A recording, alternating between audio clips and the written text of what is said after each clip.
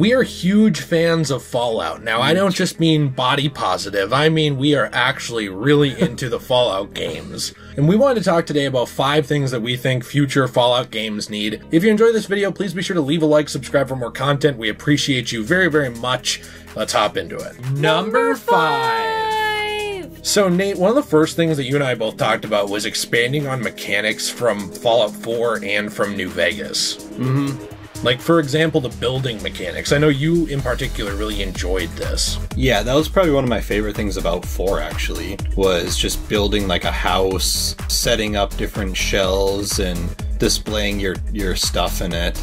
And after just playing through New Vegas, I was severely disappointed that that wasn't in there. I thought it was a really cool feature about 4. The displaying of items and stuff like that, I felt like did not really work that well in New Vegas. No. And there's already issues too in, in games like New Vegas and 3. Even if you do go to display different items, they have a chance to fall through the floor. Yeah. Or have issues with them. And you know, this was fixed by mods. Mm-hmm. So modders did add that into Fallout 3 and Fallout Uh, New Vegas as well, where you had shelves, you had different places you could click and store items, and they would appear on the wall or appear on a shelf or whatever. They did a really good job with that, but the problem that we had with it with you know those base games like 3 in New Vegas is that they didn't just have that in there. Right. I think this is something they need to expand on and keep going with in the next Fallout because that does make it feel like it's your world. You know, mm-hmm. you are living in it. The sky's the limit on what you can do. Introducing unique collectibles to the world other than just bobbleheads that you can display would be really cool. Adding in more different things that you can build with because again, modders also fixed that in Fallout 4 where they added in thousands of items you could use in your homestead Right. and build like different walls, different weapons, different uh, you know defense items, different decorations and posters and everything. If they really doubled down on that, they could easily make those those mechanics amazing. Well, and also they could just add in a lot of like cool historical items like Robert E. Lee's sword. Right, right, Right. right. Yeah, cool items like that. Also, I think that they should really expand on companion mechanics with this. Like, there should be more dialogue. This is something that Fallout New Vegas did much better than 4. For example, there was way more dialogue, and it felt like every character had their own story and personal growth to some extent. Whereas I'd argue. I guess a few characters felt like that in 4. I suppose Cait kind of felt like that, Piper kind of felt like that, and Hancock sort of did. And, uh, you know, like they did a decent job with that, but it wasn't nearly as in depth where there weren't these really interesting side missions to do for those characters, or, you know, it didn't feel like you were actually bringing them along on an entire journey that they were a part of. It just kind of felt like in four, a lot of times they're just tagging along. Number four! It's the fourth one. Four. The next one is bringing back memorable factions other than just the Brotherhood of Steel. I am not saying they can't be in the game, I get they're iconic, but they have been in the game so many times, and it's getting to the point where they are just sort of molded to whatever they want to do with them in the story. Do you want them to be the OG classic Brotherhood of Steel? Okay, cool. Then they're going to be a bunch of dicks, you know, like Right. who seize technology from everyone and make people's lives almost worse in some ways, like in New Vegas or in 4, where they're almost insufferable a lot of the times. Or do you want them to be like nice good guys? Well, then we'll just write them that way with Elder Lyons in Fallout 3, where his branch is nicer than other branches. you know what I mean? Like they just kind of put the Brotherhood wherever they want and make them whoever they want to be in a given game. And I'd rather see some other character factions back, like the New California Republic or Caesar's Legion again, or even post nuke tribes. There, there's a lot of stuff they could do. Yeah, my problem with the Brotherhood is that um, I don't really know what they are. Because, like, I played Fallout 4, and I kind of viewed the Brotherhood as, like, a bad guy, right? But then I played Fallout New Vegas, and I'm kind of like, well, these people are actually kind of good. So it's like, who are these people? Kind of like you said, it's just they write them conveniently to coincide with the story. And it's like this group has no definitive, like, answer of who they are that's kind of why I want to see other people. Is I think I like the Brotherhood of Steel, but I think the other factions are also interesting as well. Caesar's Legion is interesting. How they're just basically graphic douchebags that are obsessed with just like destroying and graphically murdering everyone. Yeah. But even like the NCR is kind of interesting, and, and I really like the the Minutemen from four. Yep. like they're one of my favorite people ever. And even like the rail, the railroad gets like no love at all. Yeah, they get railed. The NCR, for example, if you look at that faction, and now I'm biased, this is probably my favorite Fallout faction, I will admit. Okay. If you look at the writing behind the NCR, it's a lot deeper than, say, the writing behind the Brotherhood in Fallout 4. Yeah, Because the writing of the NCR goes all the way back to classic Fallout, the old, you know, top down RPG games. And it kind of stays true even into New Vegas. This is an expanding republic, an expanding attempt at reestablishing order in the world and democracy. But because of that, it has a lot of problems. There's lots of corruption. They're slow to move on things. the NCR you could actually see like the reasons behind them is they wanted a they wanted a stable universe. They wanted that old like government be from before the nukes back again. But yet they don't really have the resources or the manpower to really sustain that. No. It's interesting. And then you have Caesar's Legion, where someone's seizing onto a different part of history and sort of like using that as a basis to rally people behind them and their cause. There's interesting writing there. You know, I, I do want to say in defense of the Brotherhood of Steel, not to overextend this point, there are good things about them. Like, for mm-hmm. example, in Fallout 3, we definitely know why Elder Lyons Fallout 3 Brotherhood of Steel is nicer than the other ones, than like the outcasts in the game, or then. But when you get to New Vegas, where they're kind of a middle ground, sometimes they're nice, sometimes they're complete pricks, and then you get to four, where it's like almost at every turn, the Brotherhood is just ridiculously douchey. Like mm-hmm. they're racist towards synths. They can't actually accept new life. They can't accept that people maybe have hit the point where some of them can handle this technology. You start to get into a point where it's like that faction is more obnoxious and not as deep as previous factions were. So I think they really need to find a way to flesh out all of these factions, give them a solid core identity. You can make changes depending on where they are. Number, Number three, number three, number three, number three, number three. I think you can speak to this point better than me, which is more memorable historical locations and places of significance that make you feel like you are actually in the real world. Yeah, this is my favorite aspect about Fallout. Actually, is when you are walking around a map, um, whether it's in Four or New Vegas Or Twitter. or Twitter, but when you're walking around like the world and you can actually see real life locations. Like for example, the first time I played Fallout 4, I was like blown away because I had actually just gotten back from a trip to Boston. So when I played Fallout 4, it was like, oh, there's like the State House. I, I saw that in real life. Oh, there's this building. I saw that. There's Fenway Park. I went to a game there. And to me, like, that was exciting. You know, and then with New Vegas, like, I've been out to Vegas, obviously. So, like, that was exciting too.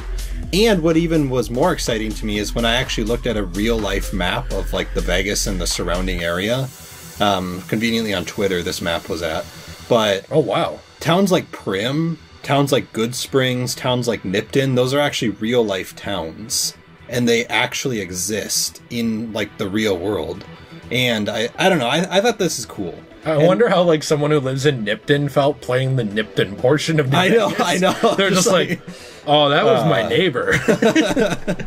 Yeah, I don't know, like this is something cool. And even in like Fallout 3, we can go to DC and see like the Washington Monument. Now it's destroyed, but or like the Jefferson Memorial or something. Like I don't know. the the- Jefferson Davis Memorial. yeah, the Jefferson Davis Memorial. It's like a huge statue in DC. okay. But this is something I really want for the next Fallout game because this is something I felt was kind of boring with 76.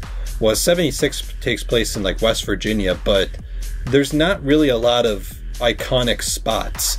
And I know it com- I know it comes down to like the Appalachian Mountains. Like what are you going to put in there besides the mountains? But that's that's something that was not as interesting to me about 76. And I feel like there's a lot of good places you can go to. Like you can go to New York City. You can have one in you know, like South Dakota with like Mount Rushmore and stuff like that, I think would be kind of interesting. You know, there's a lot of cool places around the United States that you can go to that are more interesting to me than the Appalachian Mountains. Well, even if you think about it too, you know, to speak to 76, the only interesting place I know of in the game, there's maybe a handful for, you know, real historical locations, but they're not that plentiful. One of them I know of is I believe there is a Civil War museum there, mm-hmm. which is in the actual game, which does have some interesting stuff. Like you can get, I believe, Confederacy and Union uniforms there, which is pretty cool. Which, by I the way, going in that. by the way, when we when we play this game online next time, one of us should wear the Confederacy uniform, and one of us should wear the Union uniform. That'd be awesome. We have to like rock paper scissors to see who's racist, and also to see who gets Confederacy and Union. Right, right. There's two games. Can we just both win? Speaking to your point on different places in America, I know Fallout has always been seen as an American franchise, and that's mm-hmm. cool, but there always is room to establish, you know, other parts of the world, like what's going on in other parts of the world, like Africa. I don't know, like what is the rest of the world up right. to right now? We've never really seen much of that. Mm-hmm. And I also want to see, now this is the only thing I care about, but I want to see like historical things too. But as I expand my fan base into China, I want to see a Chinese Fallout game. Same, actually. Oh, would I you actually? I actually would like to. That'd be Oh, cool. Cool. I actually want to see cool historical artifacts as well. Like not just the locations, but I want to like go to like a museum or something and pick up like Teddy Roosevelt's like sword, you know, or like use Jefferson Davis's gun, for example. I will say Fallout 3, one of one of my favorite things in there is that there is a whole quest tying into Abraham Lincoln and like Yeah. freeing slaves and like Lincoln's repeater, like his gun Yeah. and and his top hat and stuff. Like this stuff is cool. It is really interesting and it actually makes the games feel more fun and alive. And it also, by the way, does make you feel like you as a player have individual loot that nobody else in the game world has. right. That's neat. Mm-hmm. Number, Number two, two. the numero dos. Okay, the next one I have might be a bit controversial with Fallout 76 fans. I want to say you and I enjoy that game casually. It is probably our least favorite Fallout, but we like it. This point is that Fallout does not need to be an MMO. Okay, if you want to make a side game here or there in the franchise that's multiplayer, cool. I, I don't care. That's fine. Mm-hmm. Have fun with it. I don't think Fallout needs to transition to more of a multiplayer thing at all. Neither does Elder Scrolls. Really, none of these single player RPG games do. Fallout 76 has improved over time. It's not at all like a bad game right now. It wasn't very good when it launched, in my opinion, but that's neither here nor there but it wasn't very well planned out from the start. You know, Fallout 76 was more of an experiment that most people in the sphere of being an RPG fan or a Fallout fan did not actually ask for. I guess my biggest complaint with Fallout uh, 76 specifically is the game. I feel like you could have had the multiplayer mode in the game, kind of like GTA 5, but also just have the map in a single player setting as well. Like, wh- why couldn't you just have the game, but then also have the online multiplayer? I don't I don't get why the game exclusively had to be online multiplayer because the thing is with Fallout, the game the the reason why people love Fallout is because of the story. It's because of the characters. It's the RPG element. It's immersing yourself in the world of Fallout. The reason why people love Fallout is not because they're like, "Oh, you know what would be fun? What if we take a mini nuke and go blow up this random person's base that he spent 6 hours working on?" That would be fun, wouldn't it? Like no one wants this. Right. This is not like a Battlefield or, you know, GTA 5. It doesn't need to be the main experience for Fallout. And then the nice thing with it is it 76 has improved in that way over time. Yeah. Like it's much less trolly now. It's much more along the lines of mutual engagement combat. Uh, I will say it's geared more now towards cooperative play than it is towards obnoxious trolling in any way. But it is still something that no one demanded was in the game. You know, Right. like I think that it's really egregious that you pretty much have to play online and it's kind of i'm wondering like what's going to happen to this game eventually when it goes offline. Are you going to be able to play that game in 10 years? Because like you can play new vegas still today as if it came out yesterday. In fact it works better like on mm-hmm. xbox series x for example and pc now than it did when it launched. So my question is does that change? Will that preserve the game? Will it actually make it better or will it allow it to exist as it does now in years from now? Because I, I would say no. I mean, even if you could somehow create a game or create like fan servers for Fallout 76 where people could still play together in the future, not as many people are going to be playing. Right. So you've already cut out a significant feature just by focusing it around multiplayer instead of single player. That world that you required other players in to feel alive is going to be pretty dead even if you can play in it once there's no other players. This is a problem with every multiplayer game. It does not mean multiplayer games are bad. It is not the same game in 30 years if I go sit in the MW2 lobby and no one's online as it was on launch day when there were thousands of people playing Right. A portion of that game is now gone. Mm-hmm. And that frustrates me because I don't think Fallout ever had to go that direction. Right. And I'm fine with them expanding it, but don't make that be the main feature. Like, if you want to have the multiplayer mode, great. I'm all for that. Yeah, you want to invite your friend into your single player Yeah. world and do a quest with them or something? I'm fine with that. That's cool. That sounds fun. Number one! Splat. Bringing back more RPG elements. Okay, I know that I talk about New Vegas a lot. Fallout New Vegas is probably my favorite game ever, mm-hmm. personally. That game does one thing amazingly, almost above all else, and that is that is a role playing game. More storylines connect to each other. There are more NPCs and characters and quests in the game referencing each other and that change based on previous things you did than almost any other game I can think of. And this is a game that's like two generations of console hardware old. Uh, there's reputation points and standings with different factions that govern how people treat you and who you can easily work with in the game. You know, those things were much better done in a game like New Vegas than they were in Fallout 3, Fallout 4, or even Fallout 76. Even uh, skill points.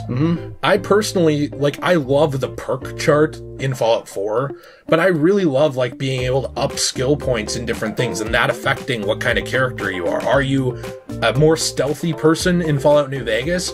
Well then maybe you're going to pick the lock on this door. Are you not? You don't have a high stealth or high lock picking? Okay, well maybe you're just going to headshot this guy instead. Yeah. That kind of stuff made the game feel more unique and interesting. It seemed like Fallout 4 especially wanted to like have its cake and eat it too with this stuff where they just wanted you to be a general player character. Yeah, that was something that took me a little bit to figure out in New Vegas was actually that uh, the game very quickly sets you into one category. And with Fallout 4, I felt like you could play most of the game without it actually affecting much. Whereas with New Vegas, for example, it was like, you know, within the first few hours, it was basically like, oh, well, you're helping out the NCR right now. So Caesar's Legion hates you.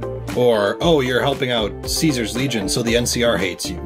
Like, you basically have to pick where you're going, and then every choice you make from then on affects that too. Mm-hmm. Like, just because you help out the NCR doesn't necessarily mean you have to pick the NCR, but it just means that it kind of ruins your chances with other people too. So, like, if you help out the NCR for a few missions, the the Caesar's Legion is going to hate you. Well, then if you want to randomly switch to help out the Caesar's Legion, it might not work that well because you're vilified. So Yeah. like they're not going to want to talk to you. Or maybe you take the mark of Caesar from the strip and you go to the fort and you immediately switch sides and you stick with Caesar's Legion and then it works Right. well too. I mean, you you are making those decisions as you go. I understand why they did this in 4 differently and I understand why some people like that. Like they like being able to work with the railroad. They like mm-hmm. being able to work with the brotherhood at the same time. But at a certain point it doesn't even make any sense. Like Right. the Brotherhood of Steel with their massive airship that's monitoring everything, they don't care that you're helping basically run an underground railroad saving synths that they hate and call abominations. Right. They just don't care because you happen to not help them in the final mission. Mm-hmm. Why? That doesn't make any sense. You know, like there's no loyalty to those factions. It makes those connections feel much more surface level.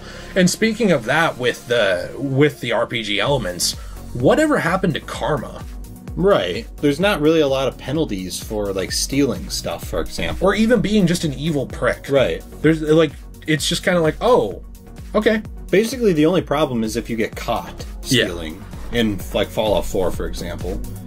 Uh, but yeah, in like New Vegas and 3, there was karma. It was like, oh, you uh, stole that item? Well, your karma's going to drop. And that was always a thing with classic Fallout too, was they actually they measured what kind of person you were. Those were staples of the franchise that people liked. You know, and a lot of people did feel like um and you and I still love 4. You know, we still love 4, but there were a ton of fans of classic and modern Fallout who felt that 4 kind of abandoned the RPG elements and went for more of just a casual gameplay. Yeah, that's one thing about the next Fallout game. I think they were. This is probably the biggest thing I think they need to add in is the RPG elements again. Because as much as I love four, I probably like it the best out of any of the Fallout personally. Uh, the RPG elements from New Vegas and three are definitely way better. like, yeah. Like way better. It, it makes your character more of a personalized, you actually care what your actions are kind of a character. Whereas in four, it's just like, oh, there's a stim pack, cool, I'll take it.